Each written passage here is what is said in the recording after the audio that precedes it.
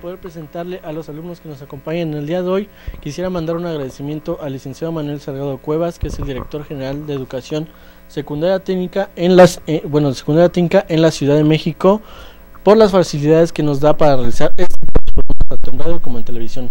Así que bueno, vamos a dar comienzo en el programa de nuestros alumnos y me encuentro con la Escuela Secundaria Técnica número 112. Bueno, pues como ya escucharon, estamos con la Escuela Secundaria Técnica número 112 y el día de hoy nos vienen a presentar una, una práctica de ciencias. Pero antes de poder comenzar con la práctica, bueno, les voy a dar paso para que se presenten cada uno de ellos. Así que bueno, estamos con... Hola, mi nombre es Mónica. Hola, mi nombre es José Enrique. Hola, mi nombre es Edson. Hola, mi nombre es César. Hola, yo soy Daniel. Ok chicos, a ver, cuéntenme, eh, ¿es la primera vez que vienen a tele? Sí. Ok, sí, ¿Cómo, cómo, qué cómo les pareció la idea de poder venir a tele? Pues nos pareció bonita, al parecer creo que nos gustó mucho, Ok, que fue buena idea que nos trajeran para presentar estos trucos que se hizo en la escuela en una parte de lo que es un proyecto que hicimos. por allá, ¿en dónde se encuentra esa escuela? A ver chicos, Eh, se encuentra en bosques, en Bosques, cerca de... este, en vistas del Pedregal. Ok, bueno, a ver chicos, cuéntenme un poquito, eh, ¿qué nos vienen a presentar el de hoy? ¿Qué práctica nos vienen a presentar? Bueno, este, les vamos a presentar este un truco que se llama el vaso mágico Ok, y es ¿y por acá qué me vienen a presentar?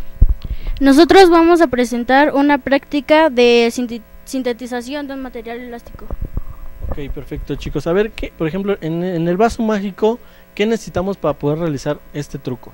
bueno, para empezar necesitaremos tres vasos de unicel, una botella de agua y el relleno de un pañal. Ok, a ver, comenzamos, por favor.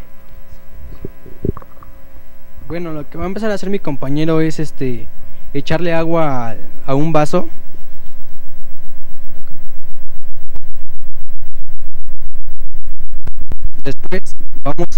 A, mezclarlos.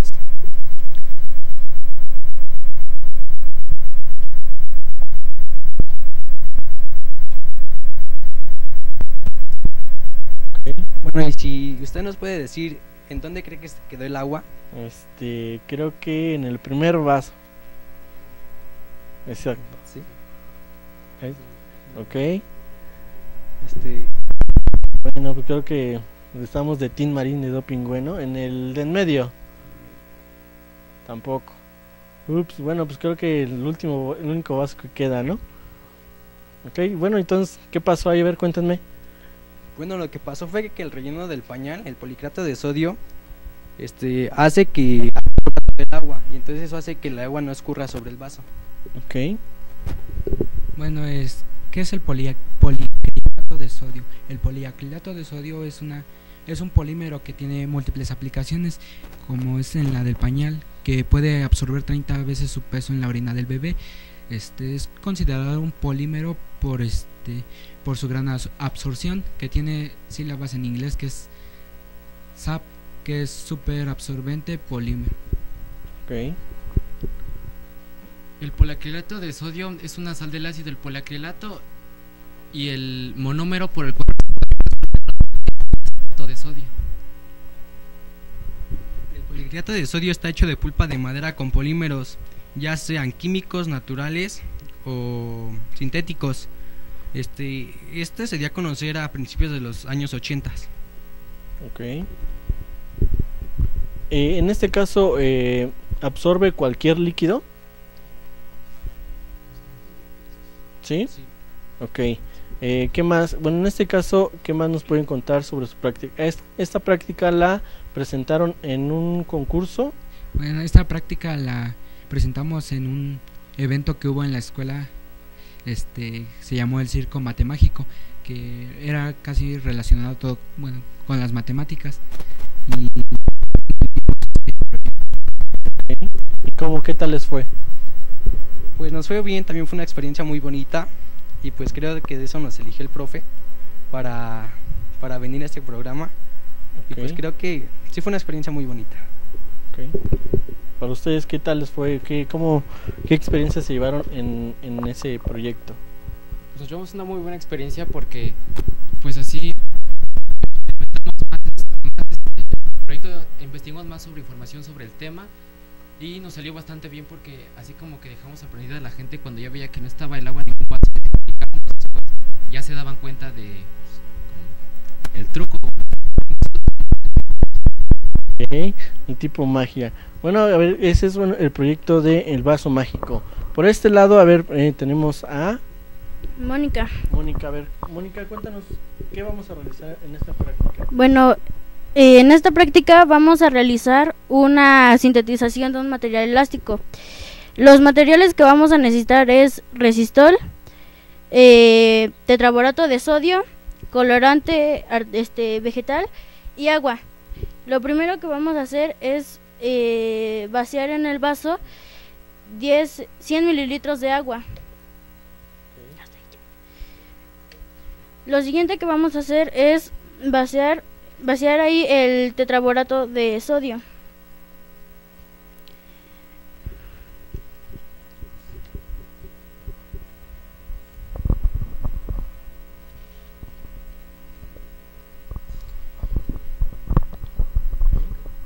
Lo siguiente que vamos a hacer es agregar dos cucharadas de resistol. El resistol puede ser del que sea. Esta marca no nos patrocina, por eso no la muestro. Ok.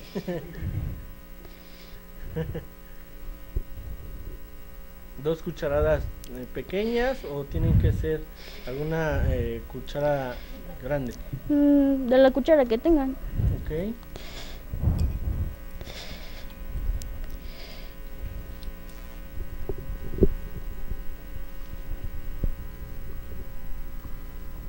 Tenemos una.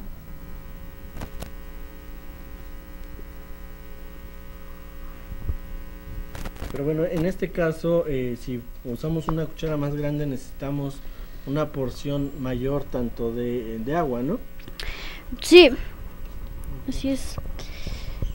Bueno, ya que tenemos las dos cucharadas de bórax agregadas, lo que tenemos que hacer después es agregar el colorante. Esto es para que el resultado sea pues más bonito. Ok. Bueno, revolvemos todo hasta que se haga una mezcla eh, homogénea. Ok.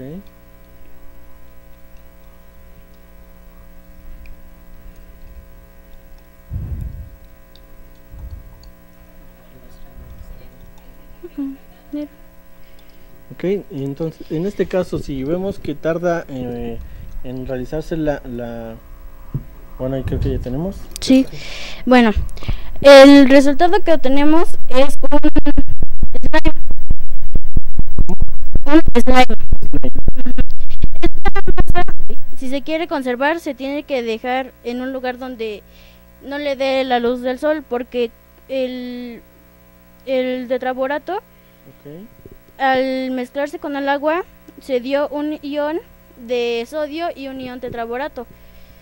Em, esto ocasionó que pues tuviera moléculas de agua en su interior y si se deja en, el- en la luz del sol, esto se puede evaporar y se quedaría una masa endurecida.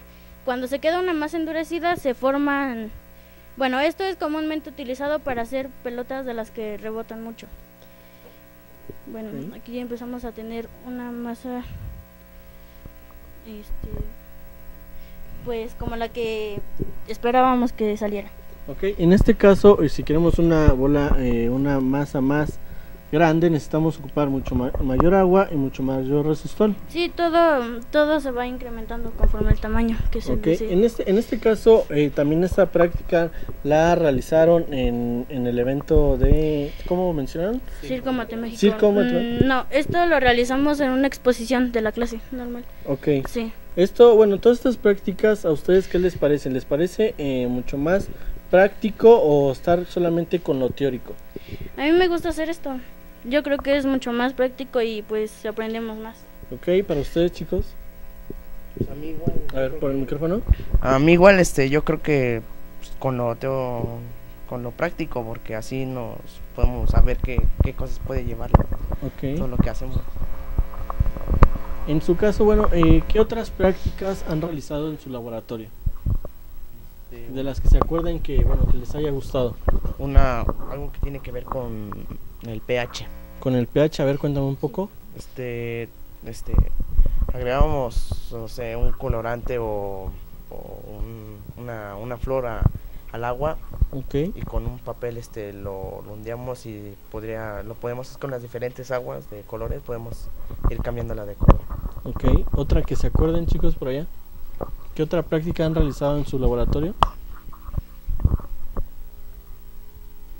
Bueno, en lo que se acuerdan de otra práctica, a ver, eh, eh, estos materiales, bueno, los podemos realizar, eh, lo podemos conseguir fácilmente, lo podemos realizar cualquiera en casa, ¿no? Entonces, eh, ¿ustedes qué, eh, qué les recomendaciones les dan a sus compañeros en este caso cuando entran ustedes al laboratorio? ¿Qué reglas tienen para poder ingresar al laboratorio? Pues las reglas serían traer ahora sí que su bata para no poderse manchar el uniforme o la ropa que traigan. ¿Ok? Este, también traer por decir guantes, Uy, ya se nos cayó la pelotita. por decir para esa masa que es un poco pegajosa, ya no poder mancharnos así mucho. Y pues entrar un, un poco serios, no hacer tanto relajo o así. Ok. ¿Cómo están las instrucciones cuando manejan un material que, bueno, por ejemplo, eh, que es peligroso? Pues lo tenemos que utilizar con mucho cuidado, con una bata igual, por en caso de que se nos llegue a manchar un poco, no nos deteriore el uniforme. Ok. Y que si lo vamos a usar, tiene que ser con ayuda de. Tiene que ser con ayuda del profesor, por en caso de que se nos llegue a salir de control un poco. Ok. ¿Qué otras recomendaciones les dan para ingresar al laboratorio? Este, bueno, una recomendación que nos da el profesor de química es entrar sin gel porque hay veces que trabajamos con sustancias que que son este flama, flameables y pues por el gel, lo que contiene el gel se nos puede quemar el cabello. Otra recomendación es que las mujeres entren con el cabello amarrado porque hay veces que trabajamos con mechero y al momento de que mueven la cabeza este se les quema el cabello. Exactamente. A ver, bueno, a ver, ya aquí tenemos la, la pelotita, a ver, para que la enfoquen en la cámara, para que vean cuál es, bueno, ya un poco más seca, ¿no? Ujú. Ok, la mostramos. Como pueden ver, rebota. Claro, si se deja secar más tiempo, pues va a rebotar más. Ahorita como está en un estado de plasma, no, no rebota mucha, a mucha altura. Ok, más o menos aproximadamente cuánto tiempo la podemos dejar más para que tampoco no se haga dura. Em, si queremos conservarla, hay que dejarla en un lugar donde no esté al aire libre. Y si se quiere hacer, si, si se quiere que tome un estado más duro, pues pueden dejarlo dos días afuera y se forma una pelota ya pues dura que rebota más. Ok. Bueno, pues estas fueron las prácticas de la, de la escuela secundaria Tinca número 112. de la 112. Y bueno, antes de poder terminar el programa, yo quisiera que ellos enviaran algún saludo a sus maestros, a su director. Así que bueno, pues les cedo los micrófonos para que por favor envíen sus saludos. Bueno, yo quiero mandar un saludo a mis hermanos, a mi maestro Amezcua, a mi mamá y, y ya. Ah, sí, ya, a mi novio Marco. Este, yo le quiero mandar un saludo también a mi mamá, al profesor y a mis hermanos que están en casa. Este, pues yo le quisiera mandar saludos a todos mis compañeros de la escuela, al director, que gracias a apoyo pudimos venir, al profe Amezcua, a mi mamá y a todos los que nos acompañaron. Bueno, pues yo quiero mandar un saludo a, a, en este caso, pues, mi papá que pudo acompañarme esta vez, a mi mamá que pudo, pues, darme permiso para poder venir, al director por habernos dado la oportunidad de poder estar aquí, a todos mis compañeros que están en la secundaria, a mis hermanas y a mi novia también. Ok. Este, bueno, yo quiero agradecerles a mi mamá que me pudo traer, al director que gracias a eso estamos aquí, al profesor Amezcua, a mis a mis compañeros de la secundaria y ya. Bueno, pues hoy estuvimos en el programa con la Tinca número 112. Así que bueno, eh, eh, este fue el programa de nuestros alumnos. Así que bueno, no se despeguen. Seguimos con mucho más programación aquí en DGS TV.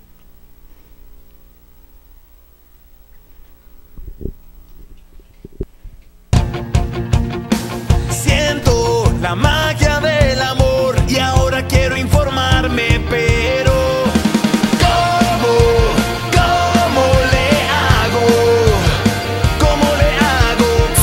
edad para enamorarte, tienes edad para cuidarte. Entra a gov.mx diagonal como le hago e infórmate de todo lo que te interesa sobre educación sexual.